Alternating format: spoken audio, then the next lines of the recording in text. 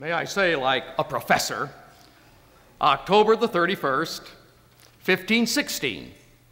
All my students know that date because that's when that giant Martin Luther nailed those 95 theses on the Wittenberg church door and sort of got it started for us. Well, the hammer blows of that man have echoed down through the centuries, and they've been heard century after century in the ears of giants whom God has raised up. Well, the 17th century, who can forget Bunyan, Sibbes, Goodwin? The 18th, Whitefield, Wesley, those giants of that mighty revival time. The 19th century, those echoes of those hammer blows was heard by Charles Finney, then the great Dwight Lyman Moody, and history just rolls on and on and on. The 20th, history's repeating itself. And there was a young man from North Carolina who heard those hammer blows, and history has been written. We have the opportunity tonight to share in a bit of that history. Dr. Billy Graham. After those words, I feel like the fellow who put his mule in the Kentucky Derby and they said, You don't expect him to win, do you? He said, No, but look at the company he'll be in. you put me in some pretty tall company.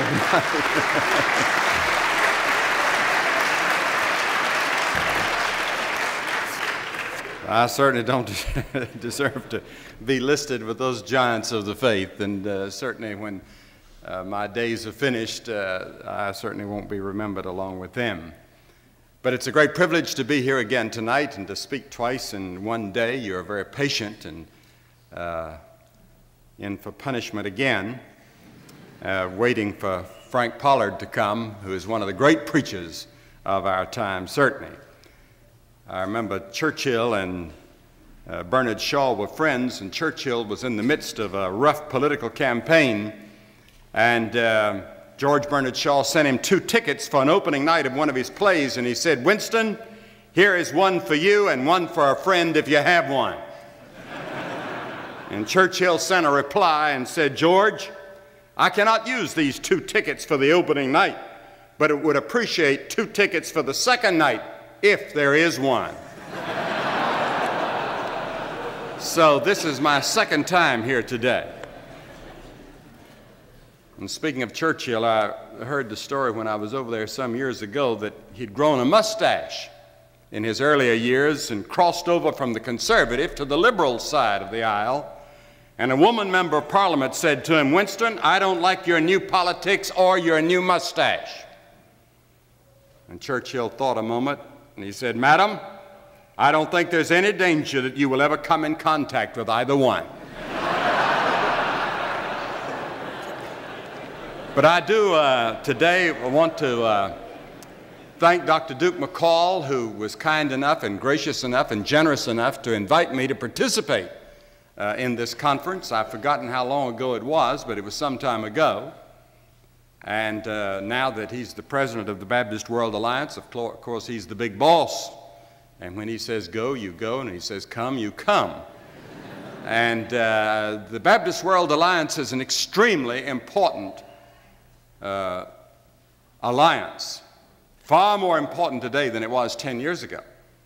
Because in the third world areas, they look to the Baptist World Alliance. They don't look to the Southern Baptist Convention or the American Baptist Convention or any other Baptist convention.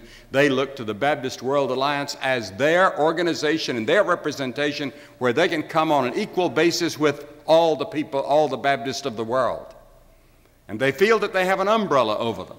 They feel they have a world fellowship. And that's the only way some of our brethren in Eastern Europe have any contact at all on the outside. And that's the reason that I am so supportive, not only supportive, but I, I'm more than supportive of the ministry and the work of the Baptist World Alliance. And I hope that we'll all pray for Dr. McCall and pray for those associated with him in the work of the Baptist World Alliance because it's very important today. I can tell you, my just my work in the third world and in Eastern Europe has shown me the importance of the ministry of the Baptist World Alliance. And then to come uh, in this earlier period of uh, Dr. Honeycutt and his administration here at this theological seminary, uh, Southern. Uh, I go to Southwestern often, and I made the mistake the last time I was at Southwestern, and I said, I'm delighted to be at Southern again today. I won't tell you their reaction. But uh, it's wonderful what God is doing through these great theological schools that He's raised up in this convention. And then, of course, I have one thing against this seminary and against Dr. McCall, and not that.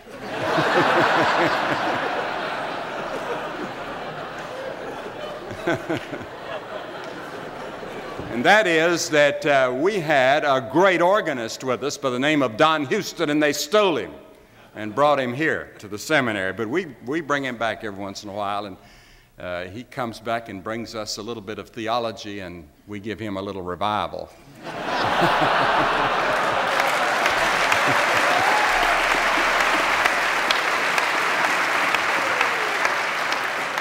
See, when he was with us, he hadn't started that beard yet. And uh, in some places, uh, and that is a fact in the Orthodox Church, the Orthodox Church, and I didn't know much about Orthodox a few years. But I've preached in. that was the wrong statement. I don't want Dr. Criswell to hear that.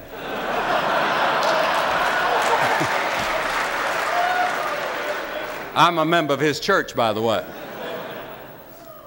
And, uh, but I didn't know much about the Orthodox Church.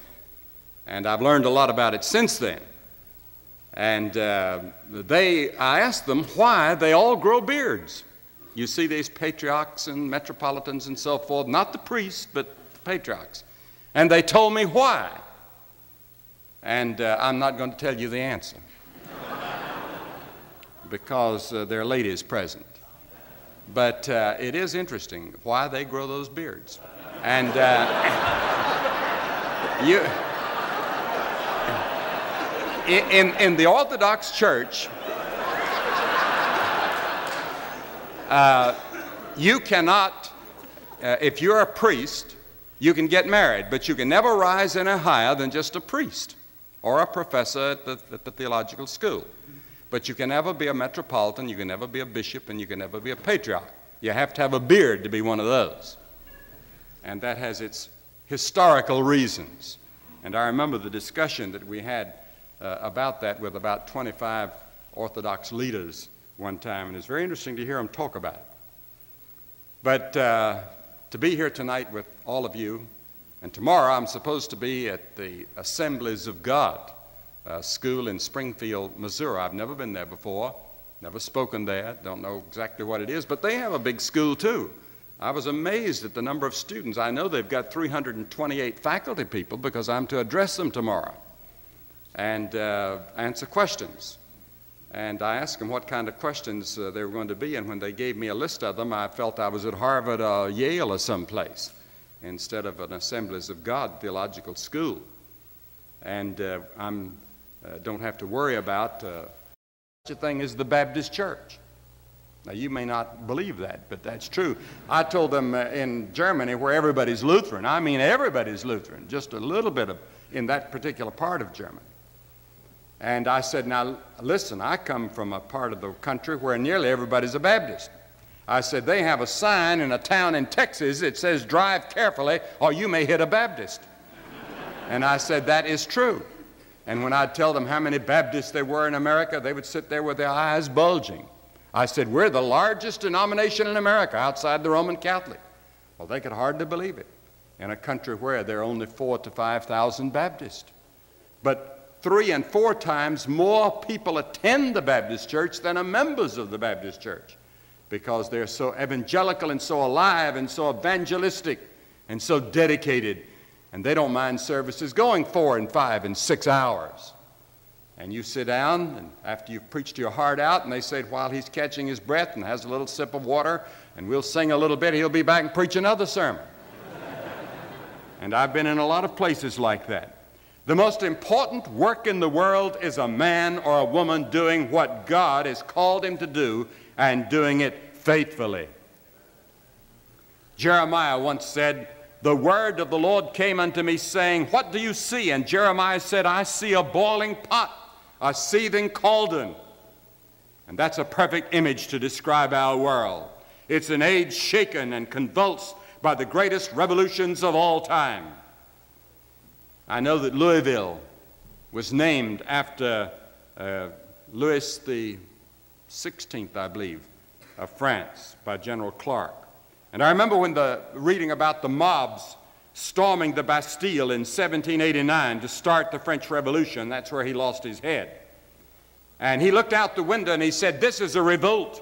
And someone replied and said, No, sir, this is a revolution. And this is the mark of our age. We're not seeing isolated revolts throughout the world. We're seeing a total revolution, a revolution in totality, the greatest world revolution in the history of the world. Technologically, look what has happened in just a few short years. I remember the first computers we got in our office in Minneapolis. I thought they were marvels. Our first computers took up as much space as, oh, well, three times the space of the choir would take now. Now that same computer is about the size of your thumbnail, can hold millions of names just on a little tiny chip. And how rapidly we are moving. We now, in our satellites, I don't think this is telling any secret, we can now see the rockets of the Soviet Union and we can read the numbers on the rockets. You can read their numbers. You can see their tanks moving and read the numbers of the tank. And they can do the same with us. Nothing anymore is hidden. Tape recorders everywhere. I've been to many places where I know that I'm being taped. Didn't know it was going to be in the White House, but uh, I'm told. I'm told that I'm told that every president since Roosevelt has taped almost everything. Uh, for historical reasons, for security reasons, they had very good reasons uh, to tape. But uh, I didn't know that until the chief of staff of one of the presidents, uh, and it was a Democratic president, told me that, and he told, didn't tell me that till a few weeks ago. And uh, I think that's true. But God is taping all the time anyway. So we ought to never say anything that would be out of place or think anything because God is recording our thoughts and our intents, and we're going to meet them someday at the judgment seat of Christ. But we're in the midst of a tremendous technological revolution, political revolution. Marxism, capitalism, and other forms of government are rearing their heads all over the world, and in some areas of the world coming into clashes and the possibilities even of war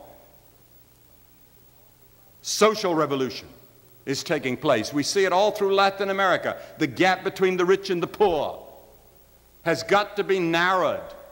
Otherwise, it's going to be a tremendous revolution in Latin America. Yesterday, on, uh, in the uh, Wall Street Journal, they had a whole front section and then inside a whole page on the revolution in Latin America and the impact evangelicals are having on that revolution. And the, the New York Times Magazine section this past Sunday had, a, had an article of several pages on the subject of how evangelicals are growing in Latin America and the impact they're having politically. And then the religious revival we see. Islam. Why, until a few years ago, you rarely heard of anything happening in Islam. Now they're in total revolt. They've got all that oil, they have all that money, and they have all that zeal, and you see the Shiites and the Sunnis and other groupings within Islam, and you see the mobs on television, you see the impact they're making in the world. And you know, I, I thought it was very interesting because the most closed country in the world to the gospel was Afghanistan. And suddenly they're invaded. Now there are two to three million refugees from Afghanistan in Pakistan, and they're Christians working among them, and a number of them have been converted to Jesus Christ. So we don't know what God's doing. Who would have ever thought that all the old ancestor worship and everything would be destroyed and torn up by its roots in China in one generation. And today, the World Council of Churches reckons that there are three times more believers in China today than there were when Mao Zedong came to power. And there have been no missionaries there. Where did they get it? What happened? You see, there's no barrier on earth that can limit the Holy Spirit. Amen. And there's no barrier on earth that can limit a person producing the fruit of the Holy Spirit.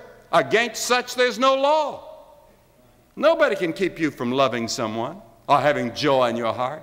And that's what happened in China. My wife was born and reared in China, and I call her an amateur authority on China because that's about half of all her conversation. If you start a conversation with her on drinking a glass of water, it'll end up with water in China. she thinks China, dreams China, lives China, and loves China. And uh, she went back last year, and when she got to her old home where she was reared, they had a great big sign that said, Welcome home. And the people lined the streets and applauded as she went down. Of course, they wouldn't have done that if she hadn't been the guest of the government. But uh, she found some people there that had been converted to Christ under the ministry of her father, and it was a great thrill to her. And then, of course, we've all preached text on, uh, preached from the text in Ezekiel 22. I looked for a man among them who would build up the wall and stand before me in the gap on behalf of the land, but I found none. Think of God looking for a man. I wonder if God isn't looking for some men and women in this conference that'll stand in the gap and make up the hedge at such an hour as this. It takes something to be that kind of a man. You read the life story of some of the men that he called out and read the price that they had to pay many times. I think of George Whitefield crossing that Atlantic how many times? 13 times. Taking three months each time and seasick all the time. He died at 58. And yet, I don't believe the American Revolution would have ever taken place had it not been for George Whitefield. George Whitefield went to all the colonies and introduced the leaders of the colonies to each other. They didn't know each other. And I think a case could be made. Now, the history professor here is going to jump up and, hell, and, and yell, no, no, no, in a minute. But I think that myself. That comes from not knowing much. You can be very authoritative when you don't know much. But God found a man in Isaiah, He found a man in Paul, He found a man in Luther, He found one in Wesley or Whitefield or Moody. The first thing I'd like to say about this man that God is looking for is a man that God uses will have an experience with God in Christ. Amen. Now, we have a, a, a, lot of experiences today. We have drug experiences and so forth. But John Wesley once said something that I never forgot. He said, What a dreadful thing it would be for me if I should be ignorant of the power of the truth that I'm preparing to proclaim. And when I stood in Luther's pulpit a few weeks ago, and when I walked around the town of Wittenberg to all the different historical places where he was, I couldn't help but be reminded of Luther's tremendous crisis and the torment that he went through and the discouragements and the depressions he went through. If you ever want to read the life of a man who lived almost in a state of depression all the time, read Luther. I mean, he lived in depression and discouragement. He never dreamed that he was accomplishing anything. But he wrote this. He said, At last I began to understand the justice of God. He'd tried everything to find peace and fulfillment and joy in his life and forgiveness of his sins and the assurance of it. He'd gone to Rome and climbed those steps and kissed each one, and he was a monk and a great preacher and a great theologian. But he said, I found, I didn't find it until I found the just shall live by faith. And he said this The just man shall live by faith. At this, I felt myself to have been born again and to have entered through open gates into paradise itself. And that became the nerve of Luther's gospel that touched all of Europe and touches us today. Next year will be his 500th anniversary, and they're expecting 3 million American visitors to Wittenberg. And then Wesley. After Wesley returned from Georgia, he was a missionary to Georgia, ordained by Zinzendorf for work in the Carolinas. And through Böhler, Wesley was convinced that he lacked that faith whereby alone one is saved. And on Wednesday, May the 24th, 1738, he said, I felt my heart strangely warmed. And for the first time in his life, even though he was a missionary and had belonged to the Holy Club at Oxford and lived a disciplined, holy life, Wesley, for the first time, found the assurance of Christ in his heart. One night I was in Poland. The fir- in fact, it was the first night we were there. And when we arrived in Poland for our crusades in Poland, uh, we had been invited first by the Baptists, and then they had been joined by all the other Protestant denominations, and they make up only about 5% of the total population of Poland.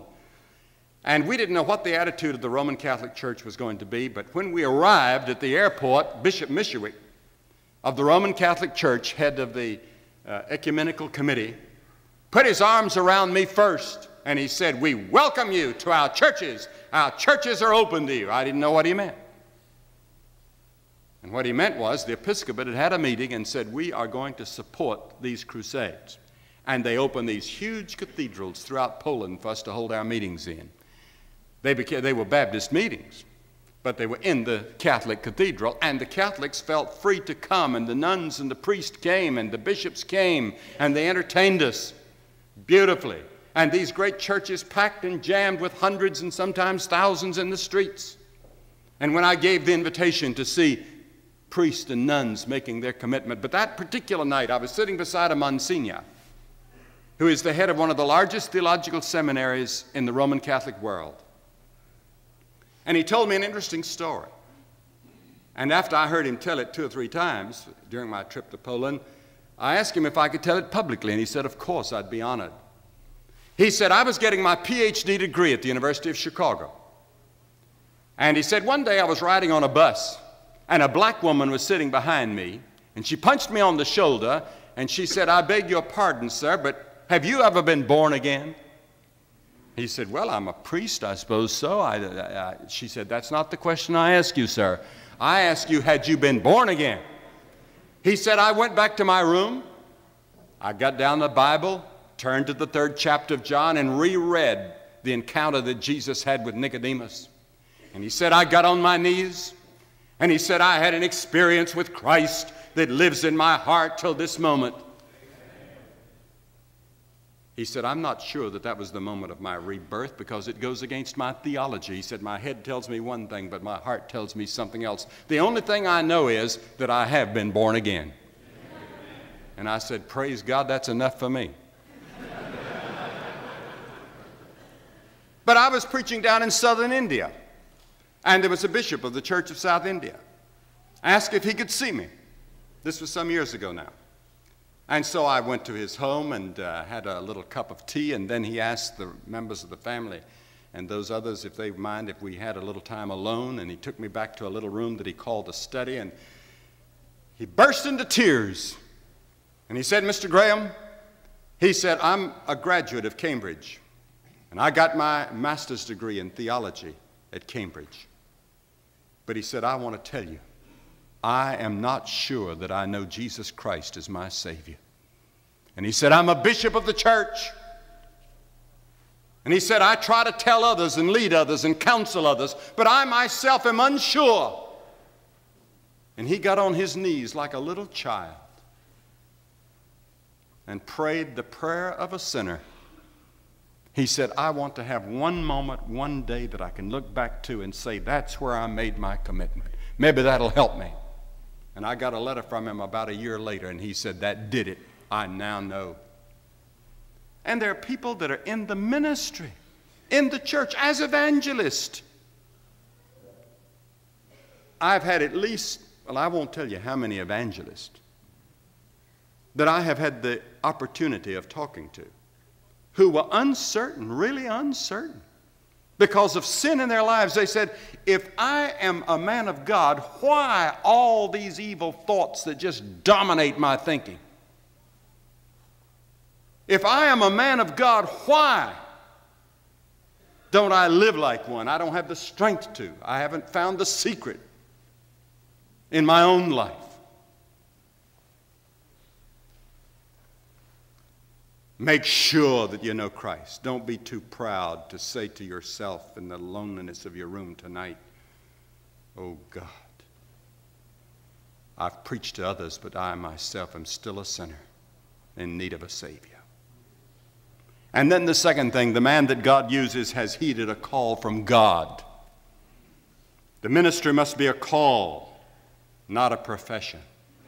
I wouldn't do what I'm doing right now, traveling all the time.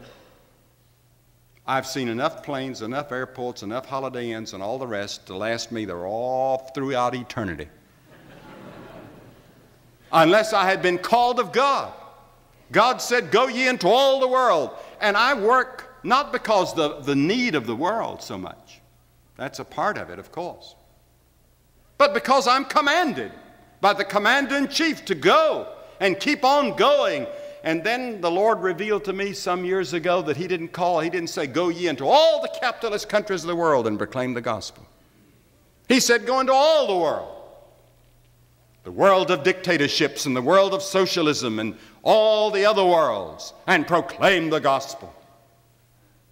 And so I decided that that's exactly what I was going to do and let the critics criticize and let, let the chips fall where they may. Just preach the gospel. Jeremiah said, But his word was in my heart as a burning fire, shut up in my bones, and I was weary with forbearing, and I could not stay. For we cannot but speak the things which we've seen and heard. Yea, woe is me if I preach not the gospel. Now, God calls in different ways.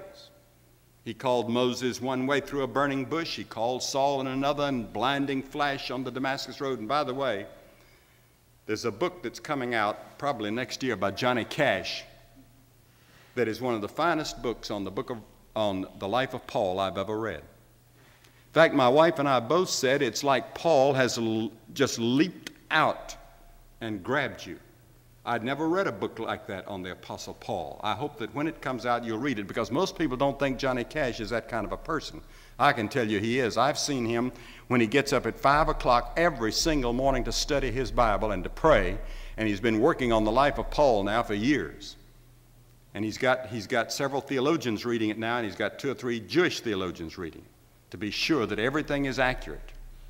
And I got a letter from a fellow that I consider one of the finest theologians in the country, and I had sent it to him just to get his reaction, and he wrote back and he said, This is one of the finest things I've ever read. Said, Whoever wrote this has done his homework. And so pray for that book that God will use it. And then there are others like Samuel. He called in the still small voice. Lloyd Ogilvie, who's the pastor of the First Presbyterian Church of Hollywood, said, If we have a ministry only because we're in the ministry, then we do not have an authentic ministry. I want to say that again. If we have a ministry only because we're in the ministry, then we do not have an authentic ministry. The ministry is a call, and your wife must sense that call. I've seen too many men call, but their wife didn't sense that call. And you ought to work together as a team so wives need to hear God's voice as well. And then, thirdly, the man God uses will lead a holy and disciplined life. It takes a lot of discipline to be an evangelist. I want to tell you. I've had to turn down hundreds of hours of wonderful fellowship in order to get back to my room to get enough rest, to get enough strength for the next sermon, or to study and prepare and to write articles, or to write this, or to handle this, or to handle the other. It takes extreme discipline. I don't say that I'm the most disciplined person in the world. Somebody asked George Whitefield, Do you think that man's a Christian? Said, I don't know. Ask his wife. And if I'm a disciplined person, you'd have to ask my wife, somebody that lives with me. I know she's disciplined. But Paul said, To the weak I became weak to win the weak. I have become all things to all men, if by any impossible means I might win them. And he said, I do this for the sake of the gospel. Therefore, since through God's mercy we have this ministry, we do not lose heart. Rather, we have renounced secret and shameful ways. We do not use deception, nor do we distort the word of God. On the contrary, by setting forth the truth plainly, we commend ourselves to every man's conscience in the sight of God. Dr. Meggs spoke, I'm told, this afternoon about the problems that face an evangelist or a clergyman. And I read the other day, I don't know whether it's true or not, but I read that more than 5,000 clergymen leave the ministry every year because of fouled up lives in their marriage. I don't know whether that's true or not.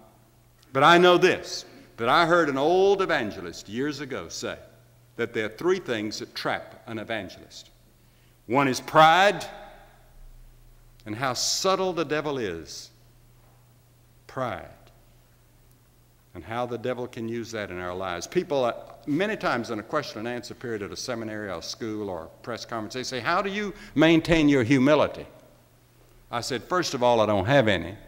And I said, Secondly, God says to humble yourself.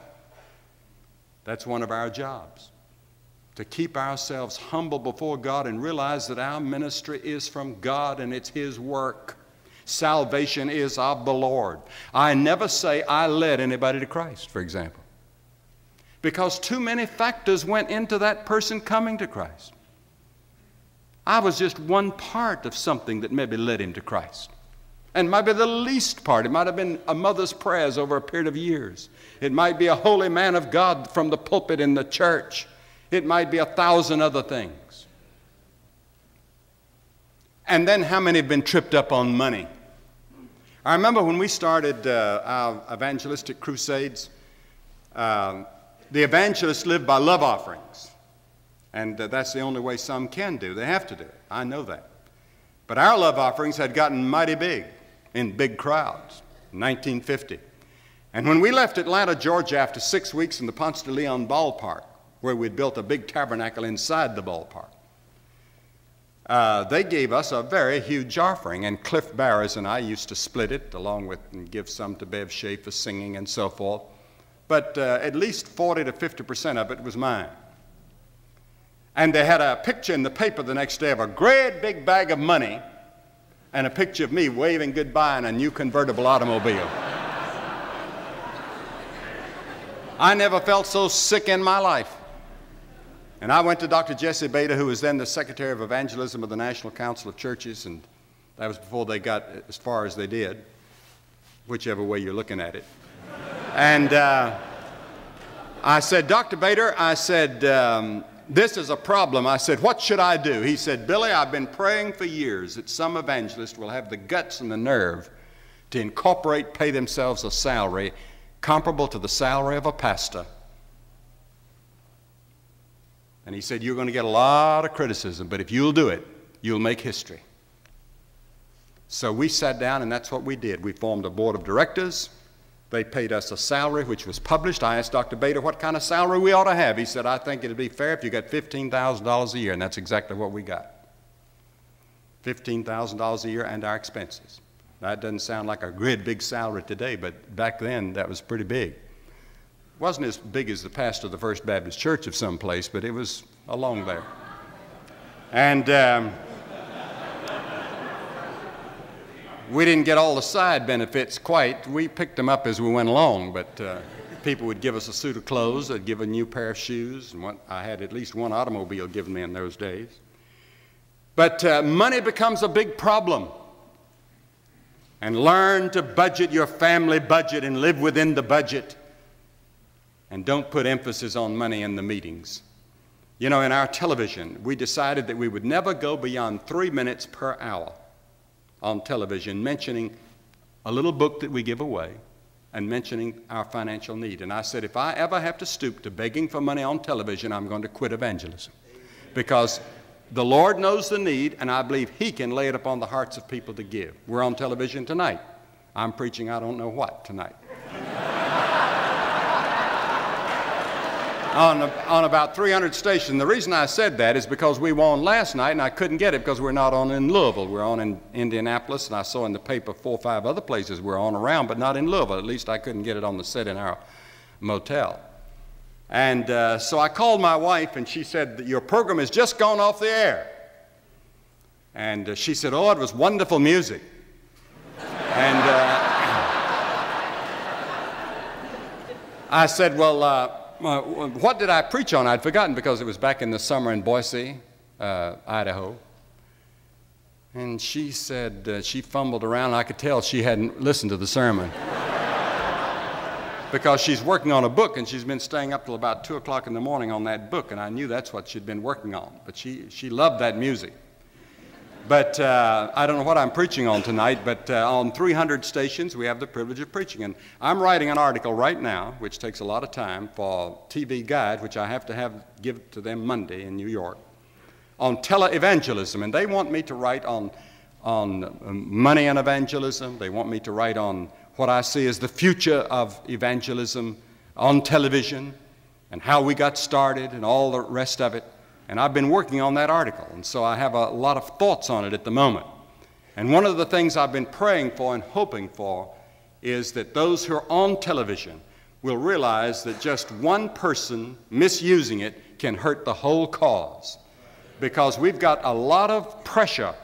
We've got a lot of pressure throughout the country uh, right now and in the Congress to pass laws and bills, for example, the flat tax, what, what in the world would that do to the giving to the churches and to an, uh, charitable institutions and to a program like ours and other things like that? There are so many bills now before the Congress that have to be watched all the time because there are people that are working to try to get it off television, get the gospel off television.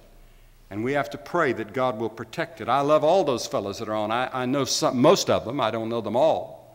I know one fellow, I wish I did have an opportunity to talk to him because the other morning I watched him and he, he went from one end of the stage to the other and he kicked at everything and knocked a bowl of flowers off in his enthusiasm and then he took the rest of the time to raise money for something that had nothing to do with his television. Now, that type of thing I'm not so sure is helpful. I'm not going to condemn him. Maybe God led him to do that, but he's not leading me to do that anyway. And then there's the matter of morals. I think Dr. Meggs talked about that this afternoon, and I won't repeat all of that. But I know that F.B. Meyer once said, Christ and self are perfectly incompatible. To have the one, we must be prepared to surrender the other. The heart, subtlety scheme, the heart subtly schemes to hold both, but it does not deceive Christ. Christ and self, we have to choose. And then, fourthly, the man of God will have a devotional life. I read a survey some time ago that said 93% of seminary students in that particular denomination, wasn't the Southern Baptist, did not have a systematic devotional life. If I didn't have a systematic devotional life, I couldn't go on. I couldn't have a ministry. I don't know what you do. I don't know what you're in the ministry for. Because that's where your power comes from. Is in your closet with God in the study of the Word, and in prayer. If our Lord Jesus had to spend all night in prayer for a three year ministry, what do you think you and I have to spend in prayer? The prayers of Abraham and Jacob and Moses and Nehemiah and Daniel mark the turning point of history in their times. Prayer. James said, The effectual, fervent prayer of a righteous man availeth much. Mary, Queen of Scots, dreaded the prayers of John Knox, we're told, more than the armies of 10,000 men. Does anybody dread your prayers or mine? And then, fifthly, the man of God will have a biblical message. I think T.W. talked about that today. You see, God never changes. The nature of God has not changed in all the centuries. Man's basic needs never change. When I stand in front of an audience in India or Africa or at uh, a university in America or here, I know there's certain things present every time I stand up to preach. I know that there's people there with guilt. I know there are people with emptiness. I asked Dr. Bok, the president of Harvard University, this year when I was speaking there. I said, Dr. Bok, I said, what is the greatest problem and the greatest need at Harvard University? And he thought a moment and he said, emptiness and commitment. He said, the students want to be committed to something, but they don't know what. He said, they need to be committed. And that is true. I know that when I stand before a group, there is emptiness. And then I know that there's the fear of death. The University of Louisville here about 10 years ago took a survey to see what young people were thinking about mostly. And of course, the first thing was sex. Second was death. I take a little uh, magazine called Song Hits and it gives me the lyrics of all the, the rock music that I can't hear the words. I just get the rock, but I want to see what they're saying. And so many of those songs have to do with suffering and death. And you can always stand in front of an audience and know that those things are working for you already, plus the work of the Holy Spirit. And if you're faithful in proclaiming the gospel, I don't care how bad a preacher you are, if you're faithful in proclaiming the gospel, the Holy Spirit is going to use it. Because it's the gospel, it's the power of God unto salvation. And you don't have to water it down and dilute it and try to be relevant. The day for relevance is finished. Lay it out there straight. Call hell, hell. Call the blood, the blood. And God will honor it. Every time I've preached on the blood of Christ, He's honored it. Every time I've preached on the cross, He honors it. And I remember one night many years ago, I was in Dallas, Texas, in the Cotton Bowl preaching. And I'd preached that night my heart out, and there were 25 or 30,000 people present, and gave an invitation. Only a handful responded, and I was a little bit disappointed and dejected. I felt my message had failed. And as I walked out, there was a wonderful German who died just about three weeks ago, who was visiting us. He was a great businessman, but he was also a great theologian. And he put his arm around me, and I said, John, I said, what was wrong tonight? He was always sensitive to the Holy Spirit. He said, Billy, you didn't preach the cross. And he said, if you don't preach the cross and the resurrection, you've got no gospel. And I never forgot that. The cross and the resurrection. There are certain things that go into every evangelistic sermon, and I can never give an invitation until I feel that certain nails have been nailed down. The cross and the resurrection have to be there. The fact that God loves them has to be there. The fact of sin has to be there. There must be conviction of sin and righteousness and judgment. And then man's response by repentance and faith must be there. And you see, the evangelist is, is using a, a rifle. The pastor can use a shotgun. But the, but the evangelist is accused of preaching the same sermon over and over, and that's exactly what you ought to be doing. Not the same text and the same illustrations, but the sermon ought to be the same. Because the gospel is the same if you're doing the work of an evangelist. You're preaching the gospel, and there's only one gospel, and it's good news. And after I'd finished over in preach, oh, well, I think I told that this morning, I won't tell it now. But I've noticed in those parts of the world where the church is growing so fast that they're preaching it much different than we are. First, there's simplicity in the presentation of the gospel. Don't ever be afraid of somebody saying that was too simple. Boy, when they say it's too simple, that's a compliment. That's the way Jesus preached. He preached so that the children understood it. Don't ever preach. I remember, I'll tell you a story. It was the last. it was the last day, last day of our meetings in London in 1954. At 3 o'clock in the afternoon, we went to White City Stadium, and there were 75,000 people packed. Then we got in a big bus and went to Wembley Stadium, it was packed with 120,000 people, with thousands outside that couldn't get in. There sat on the platform the Archbishop of Canterbury, the royalty up in the royal box. The lords and the ladies were there. All the press of Britain was there, and the world was there. And I'd prepared just a simple little sermon on choose you this day whom you'll serve. I said, Oh, Lord, with all these people here, I said, these type of people which we didn't expect, I didn't expect the Archbishop there that day. I said, and, and all these bishops, I said, I'll have to have a, a deeper and more profound message than that. And the Lord said to me, I gave you that message. You get up there and preach it. And I got up and preached it, and God honored it and blessed it, and thousands came to Christ that day. Many of them today are leaders of the churches in England. But how, how the devil is so subtle. And then preach it with authority. Preach it with authority. Preach it with the authority of all that you possibly can. And personalize it. Preach it to a decision.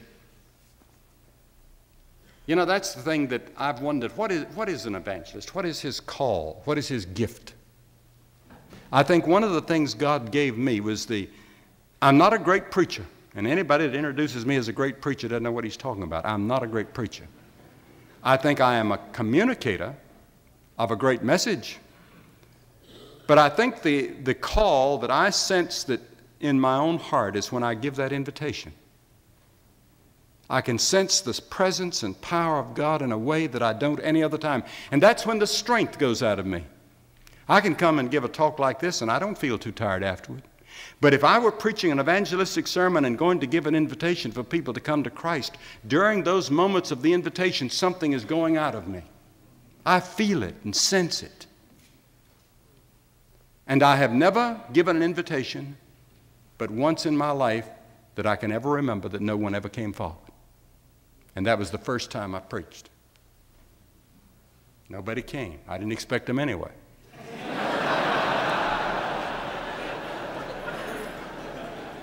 and I don't blame them after they heard what I'd said. And then, lastly, well, not lastly, but I'm going to quit. always be afraid, always uh, doubt a man when he says, in conclusion and finally, and I'm going to quit and I'm toward the end. But the man of God will have a compassionate and sensitive social conscience. Now, I had to go on a pilgrimage in this area because when I started out, uh, I remember in 1952 we held a crusade in Chattanooga, Tennessee. I was still at that time president of a college in Minneapolis, Minnesota, and I would go out and hold these crusades, and we'd built a big tabernacle. And I saw them putting up some ropes. And I knew that black people were going to have to sit behind those ropes. And I went down there and talked to the ushers and asked them if they'd removed the ropes, and they, the usher said no, said that's their custom. I just reached in myself and I took down all those ropes. And I said, I'll never preach to a segregated audience again. And boy, did I take a licking. You should have read the letters and seen the threats that we got and all the rest of it, but we never did from then on. But it became a pilgrimage, and then two or three years later, I wrote an article for Reader's Digest entitled The Most Segregated Hour of the, I think it was Reader's Digest, one of those magazines, The Most Segregated Hour of the Week. Then I wrote 10,000 words on the subject for Life magazine. I'm sure you've got them here in your library on that subject. And I was asked at Harvard uh, a few weeks ago in the question and answer period, they said, Why don't you speak against apartheid? And I looked at that girl that asked the question, she asked it real loud. I said, You know, to stand here at Harvard and talk against apartheid is easy. I said, Try going to South Africa and saying it in South Africa in front of the television cameras and all the newspapers and all the people. I said, That's what I did. And she sat down. Didn't say any more. And then on this question of peace, the Lord spoke to me about five years ago after I'd had a briefing from the Pentagon. And I saw all these missiles lined up from the Soviet Union, all the missiles lined up from China, and the missiles lined up from the United States, and what each one could do.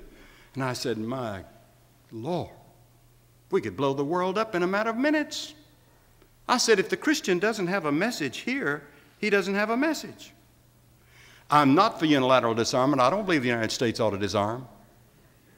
I'm not a pacifist. I think we ought to fight to defend our freedoms. But I'll tell you, we've entered a new period of history. And whether we like it or not, we're living on the same planet with these other people. And we ought to somehow, I've been calling for SALT 10. That sort of startles people because they don't know what I'm talking about. They wonder if I do, even when I explain it. But I'm calling for, for, let's have some sort of an agreement to destroy all these weapons of mass destruction. Just destroy them.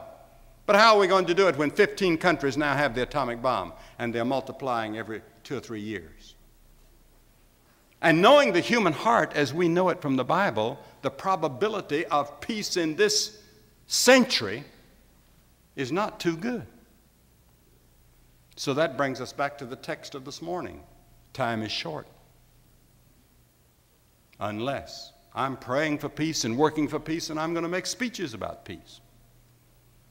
But even when we've done all of that, the only hope for permanent peace is when the Prince of Peace comes, the Lord Jesus Christ, and sets up his kingdom He prayed, Thy kingdom come, thy will be done on earth, and it's going to be done. That prayer is going to be answered. Till then, we have two the mission of the church.